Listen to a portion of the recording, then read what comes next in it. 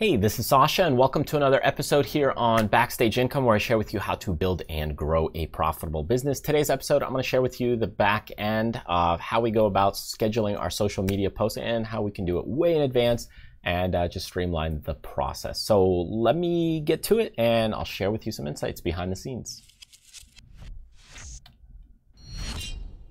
All right, so there's a few tools that you kind of need to be able to handle this and do this. Uh, we use Airtable, which I'll share with you the link below at the bottom of this video. Um, here is Airtable. It's really kind of like, uh, think of it like uh, Excel, but with way, way more power. So we kind of set up uh, tables um, that, you know, here's our caption, here's kind of a character count so that way we create a formula so we know how long the post is in case we're posting to Twitter, the link, the photo, uh, social media, and is it scheduled? So we have a couple different social media channels, Tradersfly, Backstage Income, um, and here's kind of the date and time we want to schedule it, and that's kind of unique, so that's why we made it as a primary field. Now, what we do when we do these kinds of things, and I'll show you, we run from um, our content manager. So let's say we go ahead and we need to schedule something for backstage income. And what I can do is go to my full grid list. So here's all our items and uh, things ready to go out. So let's say I want to go ahead and schedule a post. Here is the link that I want. So I just start copying some data. So I'll go ahead and go to the backstage income section, or really I start with the post planner. So I'll go here then I'll copy and paste uh, the thumbnail. I'll go back, paste the thumbnail, and I'll write something and I'll decide when I want to schedule it. So let's say I want to schedule it over here on uh, the 20th, September 20th, which is, uh, you know, it, it's a date uh, that I've just decided to do because right now I'm pre-filming this video. So let's say, hey, here are uh, some cool um, uh, design videos and I made it all caps so it's easy to see. So I went ahead and I got this all written out and now I'll go ahead and copy it and decide where I want to go. And I'm waiting for that because I don't want to paste it in right away or work on it in this active area because once I put it in this active area, it's going to send it over to my buffer or scheduler. So I go ahead and just kind of paste it in right now all at once. Um, and now it kind of uh, sends the signal to Buffer. And Buffer checks, um, or Zapier, Zapier checks the um, if there's anything new every 15 minutes. Now I'm going to go ahead and force that right here. And I'll hit run in just one second.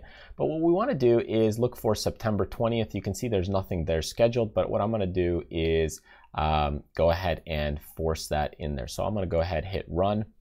And you'll see looking for new records, triggering one new record and then it'll, boom, add it to schedule, successful. So now what you should see is coming in right here, you'll see in just one second, it'll go to Facebook and it'll go to uh, the, uh, to the uh, um, uh, Twitter as well, um, all from this uh, buffer. And the way that uh, this buffer works is that you're taking Airtable, whatever's something new, it adds it to the schedule in the Twitter, and then it adds it to the schedule on um, uh, on the Facebook as well. So you can see it, it does this, adds the caption, the link, and we're just automating the process. So now what you can do is I can go ahead hit refresh so you can see here's 506 and let's see here it should be 5161. So if we go ahead and take a look at uh, let's see pop-up blocked always allow. So again, let's check it out on the monthly here. And what you can see is right here, here is the one that we did. Here are some cool design videos and it converted that link and there is my uh, thumbnail. And that's what makes scheduling this a breeze and fast because we go ahead and do a lot of work in Airtable. And because we do a lot of work, um, if we can do a lot of our post planning here, or just all we need to do is change the dates, uh, go ahead and adjust a few captions and I can literally just copy and paste this whole thing and it would just send it off into uh, the next queue. So that's really the way we go ahead and do the scheduling. Once we post it in there, it checks for things and um, then it's pretty much kind of good to go and good to run. Now I'm gonna go ahead and delete that post uh, just because uh, you know it's not one that um, I wanted to do. But as an example, that's how we go about scheduling a lot of our posts, a lot of our videos um, on social media. And uh, you know we can just copy it in batches for the next couple days, next couple weeks. Sometimes we'll do quotes for the next four or five months uh, in advance um, or just different postings four or five months in advance and we just do it through Airtable and Zapier just zaps on over uh, all our different stuff. So I hope you found this video helpful, um, you know, and if you like these kinds of tools, check out Airtable. It's absolutely free. You can uh, use it to go ahead and do a lot of other great things. There's going to be a link in the description there and creates a win-win relationship. If you sign up with the link, I get a little bit of credit and you, I believe, also get a bit of credit in case you buy a, a plan.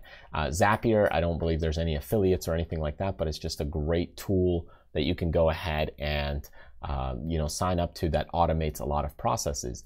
And Buffer is just what we use to send out the queue. Whatever's in the schedule, it sends it out.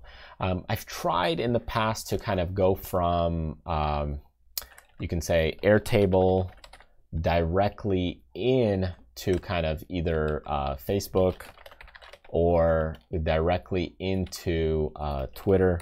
Uh, but that's uh, much more complicated just because of the scheduling and that kind of stuff. So it made it more difficult. So instead, we uh, went ahead and put this kind of uh, in between spot uh, with buffer. So here we have Airtable, and then we have this go in between buffer, and then that kind of shoots it off to Facebook and also into Twitter. So that's how we go ahead and do a lot of social media. It's just a lot easier copying and pasting pictures rather than, you know, uh, trying to find them in your files. So if we need to pull something out and find something in social media, we can go ahead and just, hey, where is the one?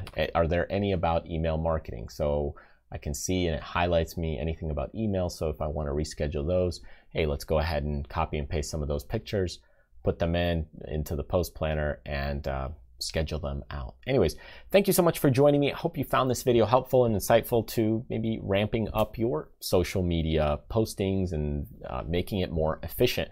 And if you did, then go ahead, subscribe to me on the YouTube channel, or of course, join me on my newsletter list. There's also a lot of great freebies and goodies on our um, on our website. So if you go check out our website at backstageincome.com, uh, you can see there's a lot of free stuff. So that's why you want to get on the newsletter list. We give a lot of these kinds of uh, things away, and uh, feel free to just visit the website and download them absolutely free on PDF. So you can sign up right over here and uh, then get all the good stuff, as well as some of the other books that we have coming out and courses, classes, and all the other good stuff. Thanks for joining me. In the end, remember do what you love, contribute to other people, but most importantly, live life abundantly. I'll see you next time.